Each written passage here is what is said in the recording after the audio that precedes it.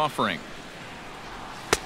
And a oh. fastball to start things out here. Not close. It's a ball and no strikes.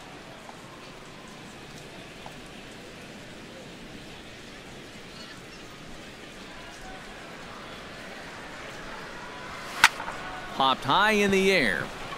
Lawrie is there for it. Makes the play one away. Batting six. Oh, Nice man, would he like to have that swing back. I mean, he just missed hammering this ball, but just got underneath it a little bit. He's not going to be happy about that one because even he thought he was right on it.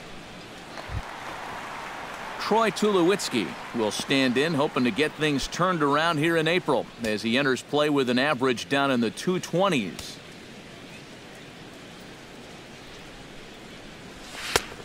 And he'll take strike one on the fastball, registering at 93 that time. And if you're not careful, this is the kind of guy that can run off six scoreless innings against you from here out. So that first inning run isn't something you can bank on holding up. Smoked on the ground up the middle.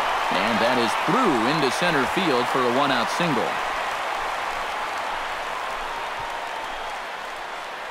Yeah, really not a bad pitch when you look at it. This is at the knees with some movement. He just uses the center of the diamond and checks in here with a base hit.